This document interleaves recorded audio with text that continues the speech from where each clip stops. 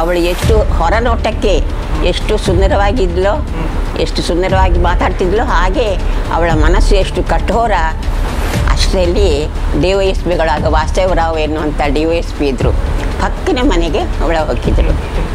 ಬಂದು ಕೂತ್ಕೊಂಡ್ರು. ಇದನ್ನು ಕಂಡು ಆ ಮಕ್ಕಳು ಅಲ್ಲಿಂದ ಹಲ್ಕಿದ್ರು. ಓಡಿದ್ರು. ಅವ್ರು ನನಗೆ ಆಗಾಗ ಫೋನ್ ಮಾಡಿ ಹೇಳೋದು ನೋಡಿ ಅಮ್ಮ ನಿಮ್ಮ ಮಕ್ಕಳೆಲ್ಲ ಸಣ್ಣವರು. ಮೂರು ಮಕ್ಕಳನ್ನು ಕಟ್ಟಿಕೊಂಡು ನೀವು ಜೈಲಿಗೆ ಹೋದರೆ ಮನೆಯ ಅವಸ್ಥೆ ಏನು ಅಂತ ಸ್ವಲ್ಪ ಆಲೋಚನೆ ಮಾಡಿ. ನಿಮ್ಮ ಮೀಸಲಿಸ್ಟಲ್ಲಿ ನಿಮ್ಮ ಹೆಸರಿದೆ. ನನಗೆ ಹಾಕಬೇಕಾಗ್ತದೆ, ಒತ್ತಡ ಬರ್ತಾ ಉಂಟು. ಆದ್ದರಿಂದ ಸ್ವಲ್ಪ ಮನೆಯಲ್ಲೇ ಕೂತ್ಕೊಳ್ಳಿ ನೀವು.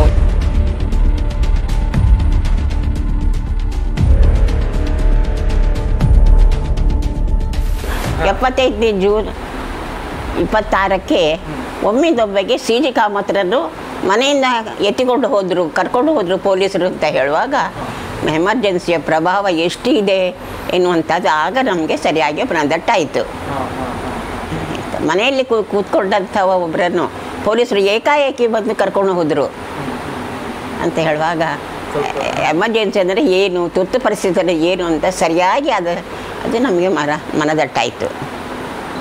ಮಹಿಳೆಯರ ಎರಡು ಮುಖ ಏನು ಎಂಬುದಂಥದ್ದು ನಾವು ಅರ್ಥ ಮಾಡಿಕೊಂಡೆವು.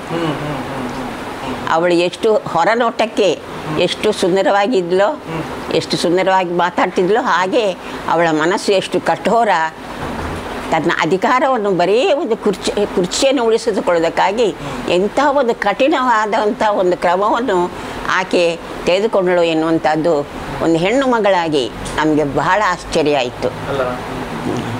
ಹೆಣ್ಣು ಮಗಳು ಮಾಡೋ ಹೆಣ್ಣು ಮಗಳು ಮಾಡುವ ಕೆಲಸ ಇದಲ್ಲ ಅಂತ ಒಂದು ದೇಶ ಆಳುವಂಥ ಒಂದು ನಾಯಕಿ ಹೆಣ್ಣು ಮಗಳು ಅವಳು ಮಾಡುವಂಥ ಕೆಲಸ ಇದಲ್ಲ ಎನ್ನುವಂಥದ್ದು ನಾವೆಲ್ಲರೂ ಮಾತಾಡಲಿಕ್ಕೆ ಪ್ರಾರಂಭ ಮಾಡಿದೆವು? ನಾವು ಅನೇಕ ಚಟುವಟಿಕೆಗಳಲ್ಲಿ ನಾವು ಮಗ್ನರಾಗಿದ್ದೆವು. ಸುಮ್ಮನೆ ನಾವು ಕೂತ್ಕೊಳ್ತಿರ್ಲಿಲ್ಲ. ಎಮರ್ಜೆನ್ಸಿ ಬಂತು ಅಂತ ಹೇಳಿದ ಕೂಡಲೇ ಪತ್ರಿಕಾ ಸ್ವಾತಂತ್ರ್ಯ ಹೋಯಿತು. ಪತ್ರಿಕೆಯಲ್ಲಿ ನಮಗೆ ಏನನ್ನು ಕೇಳಲಿಕ್ಕೆ ಓದಲಿಕ್ಕೆ ಅವಕಾಶ ಇರಲಿಲ್ಲ.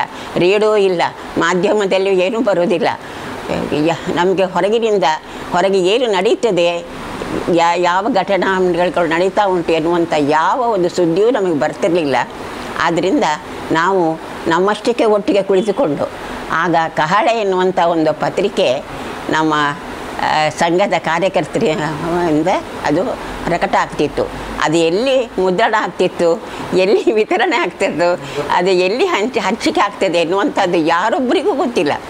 ಎಂಥ ದೊಡ್ಡ ಮುಖಂಡರಿಗೂ ಅದು ಗೊತ್ತಿಲ್ಲ. ಎಲ್ಲಿಂದ ಬರ್ತದೆ ಅಂತೇಳಿ. ಪಕ್ಕನೆ ಬಂದು ಅದು ನಮ್ಮ ಮನೆಗೆ ಬೀಳ್ತಿತ್ತು.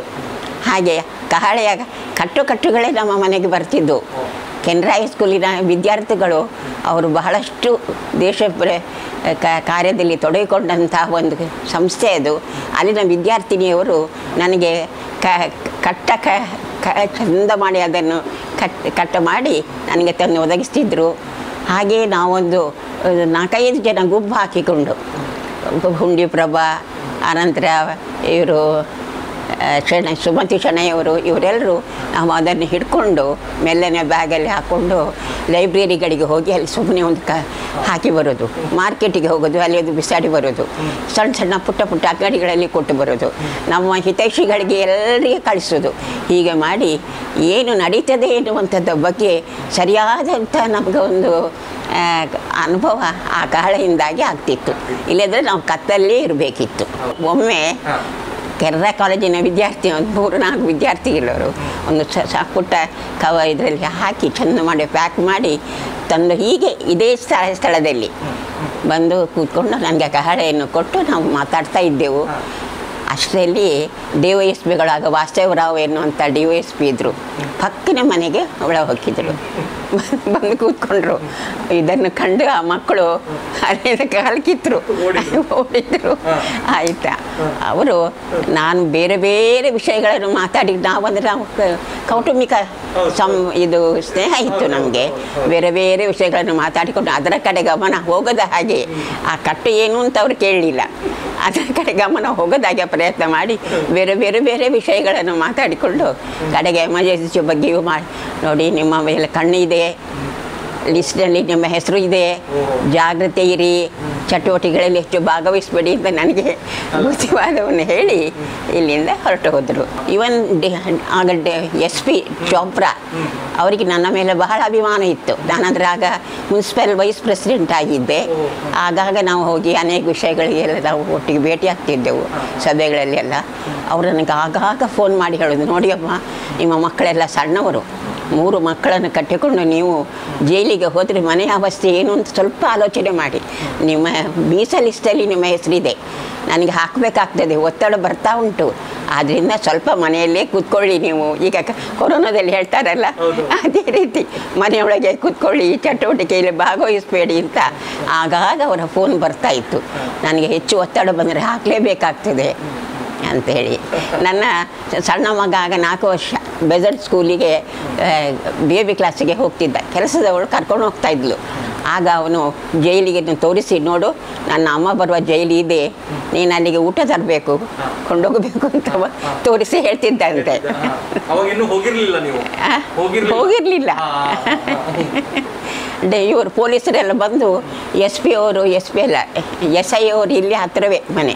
ಅವ್ರು ಆಗಾಗ ಬಂದು ಚೆಕ್ ಮಾಡ್ತಿದ್ರು ನಮ್ಮನ್ನು ಬಂದು ನನ್ನ ಸಣ್ಣ ಮಗನ ಹತ್ರ ಕೇಳಿದೆ ನಿನ್ನ ಅಮ್ಮ ಎಲ್ಲಿಯೋ ಆಗ ನಾನು ಮನೆಯಲ್ಲಿ ಇರಲಿಲ್ಲ ನಾನಾಗ ಪ್ರಾಂತ್ಯದ ಉಪಾಧ್ಯಕ್ಷೆಯಾಗಿದ್ದೆ. ಮತ್ತು ಇಲ್ಲಿದ್ದು ಘಟಕದ ಮಹಿಳಾ ಘಟಕದ. ಮಹಿಳಾ ಘಟಕದ ಆಗಿದ್ದೆ ಮತ್ತು ವೈಸ್ ಪ್ರೆಸಿಡೆಂಟ್ ಆಗಿ ಎಂಟು ವರ್ಷ ನಾನಿದ್ದೆ. ಆಗ ಮುನ್ಸಿಪಲ್ ಕೌನ್ಸಿಲ್ ಇರೋದ್ರಿಂದ ಮತ್ತು ಎರಡು ಟರ್ಮ್ ನಮಗೆ ಸಿಕ್ಕಿತ್ತು ಹಾಗಾಗಿ ವೈಸ್ ಪ್ರೆಸಿಡೆಂಟ್ ಆಗಿದ್ದೆ. ಹಾಂ. ಹಾಗೆ ಎಲ್ಲರ ಸಂಪರ್ಕ ಇತ್ತು. ಇವನ್ ಜೈಲಿಗೆ ಕೂಡ ನಾನು ವಿಸಿಟಿಂಗ್ ಬೋರ್ಡಲ್ಲಿ ಇದ್ದದ್ರಿಂದ. ಆಗಾಗ ನಾನು ಜೈಲಿಗೆ ಇತರ ಕೈದಿಗಳನ್ನು ಅವರ ಯೋಗಕ್ಷೇಮ ವಿಚಾರಿಸಲಿಕ್ಕೆ ಹೋಗ್ತಿದ್ದೆ. ಆಗ ದಾತಾರ ಅಂತೇಳಿ ಜೈಲರಿದ್ದರು ಅವರು ನಮ್ಮ ಕುಟುಂಬದ ಸ್ನೇಹಿತರಾಗೇ ಇದ್ದರು ನಾವು ಅವರ ಮನೆ ಹೋಗೋದು ಅವ್ರ ನಮ್ಮ ಮನೆಗೆ ಬರೋದು ಅಥವಾ ಜೈಲಲ್ಲಿಯೂ ಅವರು ಸ್ವಲ್ಪ ನಮಗೆ ಸಹಕಾರ ಕೊಡ್ತಾ ಇದ್ದರು ಕ್ರಿಮಿನಲ್ಗಳಾಗಿ ನಮ್ಮನ್ನು ಕಾಣ್ತಿರ್ಲಿಲ್ಲ. ನಾವು ಒಂದನೇದು ಆಗ ಹೆಂಗಸರು ನಾವು ಸುಮ್ಮನೆ ಕೂತ್ಕೊಳ್ತಿರ್ಲಿಲ್ಲ. ಆಗಾಗ ಯಾವುದಾದ್ರೂ ಒಂದು ರೂಪದಲ್ಲಿ ಒಂದು ಮನೆಯಲ್ಲಿ ಸೇರ್ತಿದ್ದೆವು. ಮಾಲ್ತಿ ಪೇಜಾ ಅವರಂತೇಳಿ ಕರಗಲ್ಪಾಡಿಯಲ್ಲಿ ಎಲ್ ಎಸ್ ಕಾಲೇಜಿನ ಎದುರು ಅವರ ಮನೆ ಇತ್ತು. ಅದು ಸೆಂಟರ್ ಆದ್ದರಿಂದ ಎಲ್ಲ ಹೆಂಗಸರು ಅಲ್ಲಿ ಬಂದು ಸೇರ್ತಿದ್ರು. ಅಲ್ಲಿ ನಾವು ಸೀರೆಯ ಚೀಟಿ ತೆಗೆಯುವುದು ಅಂತೇಳಿ ಸ್ವಲ್ಪ ಸೀರೆಯನ್ನು ಮೇಲೆ ಇಟ್ಕೊಂಡು ಚೀಟಿ ತೆಗೆಯುವ ನೆವದಲ್ಲಿ ಇದರ ಬಗ್ಗೆ ಎಲ್ಲ ನಾವು ಚರ್ಚೆ ಮಾಡ್ತಿದ್ದೆವು.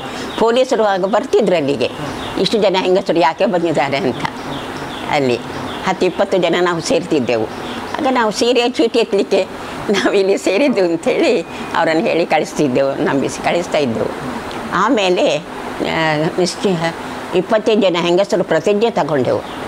ಯಾವ ನಿಮಿಷಕ್ಕೂ ನಾವು ಜೈಲಿಗೆ ಹೋಗಬೇಕಾದ ಪ್ರಸಂಗ ಬಂದರೆ ನಾವು ರೆಡಿಯಾಗಿ ಇರಬೇಕು ಅಂಥೇಳಿ ನಾವೆಲ್ಲ ಒಂದು ಬ್ಯಾಗಲ್ಲಿ ಬಟ್ಟೆ ಎಲ್ಲ ಹಾಕಿ ಇಪ್ಪತ್ತೈದು ಜನರು ಕೂಡ ರೆಡಿಯಾಗಿ ಕೂತ್ಕೊಂಡಿದ್ದೆವು.